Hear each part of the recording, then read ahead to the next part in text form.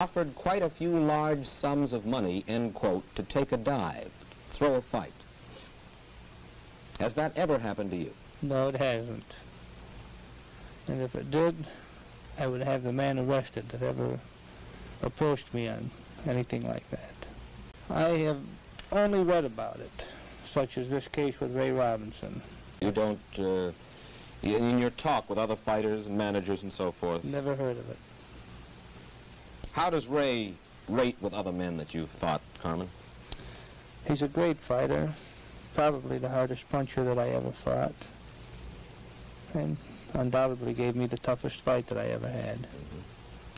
Do you feel, in a sense, now that you've got his number, you're, you're perfectly confident that next time around uh, it's going to be as easy, or Uh, it wasn't easy.